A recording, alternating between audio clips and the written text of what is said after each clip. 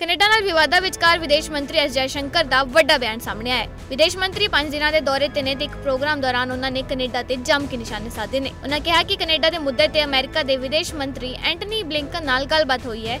ਜੋ ਵੀ ਹੋ ਰਿਹਾ ਹੈ, ਉਹ ਕੈਨੇਡਾ ਵਿੱਚ ਹੋ ਰਿਹਾ ਹੈ। ਜੈਸ਼ੰਕਰ ਨੇ ਕਿਹਾ ਕਿ ਮੇਰੀ ਸਮਝ ਇਹ ਹੈ ਕਿ ਕੈਨੇਡਾ ਵੱਲੋਂ ਵਰਤਿਆ ਗਿਆ ਸ਼ਬਦ ਇਲਜ਼ਾਮ ਹੈ। ਮੈਂ ਪਹਿਲਾਂ ਇਸ ਦਾ ਜਵਾਬ ਦੇ ਚੁੱਕਾ ਹਾਂ। ਮੈਂ ਹਮੇਸ਼ਾ ਕਿਹਾ ਹੈ ਕਿ ਜੇਕਰ ਕੋਈ ਸਬੂਤ ਹੈ ਤਾਂ ਸਾਨੂੰ ਦੱਸੋ। ਅਜਿਹਾ ਨਹੀਂ ਹੈ ਕਿ ਸਾਡੇ ਦਰਵਾਜ਼ੇ ਕੁਝ ਵੀ ਦੇਖਣ ਲਈ ਬੰਦ ਨਹੀਂ ਜੇਕਰ ਸਾਨੂੰ ਕੁਝ ਦਿਖਾਉਣ ਦੀ ਲੋੜ ਹੈ ਤਾਂ ਅਸੀਂ ਇਸ ਨੂੰ ਦੇਖਣ ਲਈ ਤਿਆਰ ਹਾਂ। ਪਰ ਫਿਰ ਅਸੀਂ ਕਿਤੇ ਨਾ ਕਿਤੇ ਉਮੀਦ ਕਰਦੇ ਹਾਂ ਕਿ ਅਸਲ ਵਿੱਚ ਦੇਖਣ ਲਈ ਕੁਝ ਹੋਵੇ। ਕੈਨੇਡਾ ਦੇ ਮੁੱਦੇ ਤੇ ਐਸ ਜੈ ਸ਼ੰਕਰ ਨੇ ਕਿਹਾ, ਇਸ ਸਮੇਂ ਅਜਿਹਾ ਮਾਹੌਲ ਹੈ ਜਿੱਥੇ ਸਾਡੇ ਹਾਈ ਕਮਿਸ਼ਨਰਾਂ, ਸਾਡੇ ਵਨਜ ਦੂਤਾਂ ਘਰਾਂ ਤੇ ਇੱਕ ਤਰ੍ਹਾਂ ਦਾ ਦਬਾਅ ਹੈ। ਉਹਨਾਂ ਵਿਰੁੱਧ ਹਿੰਸਾ ਦਾ ਪ੍ਰਚਾਰ ਕੀਤਾ ਜਾ ਰਿਹਾ ਹੈ। ਅਜਿਹੇ ਮਾਹੌਲ 'ਚ ਉਹ ਵੀਜ਼ਾ ਦਾ ਕੰਮ ਕਿਵੇਂ ਕਰ ਸਕਦੇ ਨੇ? ਇਹ ਕਾਨੂੰਨ ਵਿਵਸਥਾ ਦਾ ਮਾਮਲਾ ਹੈ। ਵਿਆਨਾ ਕਨਵੈਨਸ਼ਨ ਦੇ ਤਹਿਤ ਹਰ ਦੇਸ਼ ਦੀ ਜ਼ਿੰਮੇਵਾਰੀ ਹੈ ਕਿ ਉਹ ਆਪਣੇ ਸਫਰਤਖਾਨਿਆਂ ਵਿੱਚ ਕੰਮ ਕਰਨ ਵਾਲਿਆਂ ਨੂੰ ਸੁਰੱਖਿਆ ਪ੍ਰਦਾਨ ਕਰੇ। ਇਸ ਨੂੰ ਦੋ ਪੱਖੀ ਨਾ ਬਣਾਓ। ਇਹ ਮਾਹੌਲ ਭਾਰਤ ਵਿੱਚ ਨਹੀਂ ਹੈ। ਕੈਨੇਡਾ ਵਿੱਚ ਪ੍ਰਦਰਸ਼ਨ ਹੋ ਰਹੇ ਨੇ। ਕੈਨੇਡਾ ਵਿੱਚ ਧਮਕੀਆਂ ਦਿੱਤੀਆਂ ਜਾ ਰਹੀਆਂ ਨੇ। ਕੈਨੇਡੀਅਨ ਸਰਕਾਰ ਨੂੰ ਇੱਥੇ ਕਾਰਵਾਈ ਕਰਨ ਦੀ ਲੋੜ ਹੈ।